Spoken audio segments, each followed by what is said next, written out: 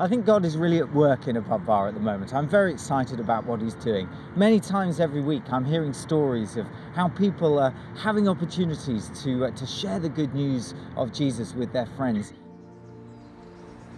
As we go into 2018, we're taking a new journey together as a whole church, a renewed focus on disciple making right across the city and with a particular focus on the East.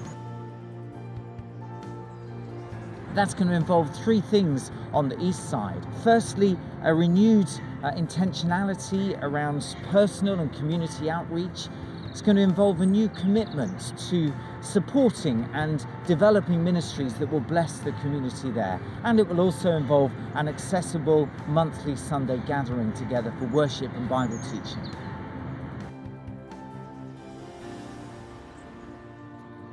Whilst people in our society have so much physically, often they feel isolated and lonely because their relationships feel quite shallow or they don't know so many people. And it's been great how I've heard stories of people in Above Bar investing in those relationships. One person went to a local shop for a number of months, if not years, and built up a relationship with the shop owner. And when they were then struggling, could talk to them about a local community and they came to church and have really uh, enjoyed that experience.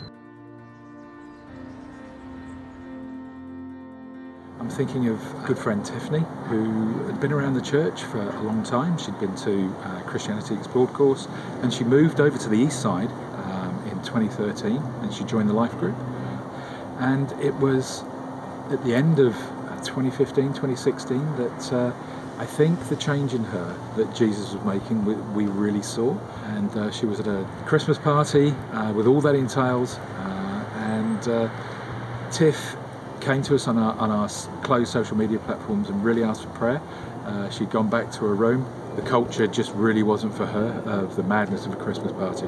And it was then that we saw that Jesus was really changing her. And that's all come from, from being in the life group and, and just doing life together.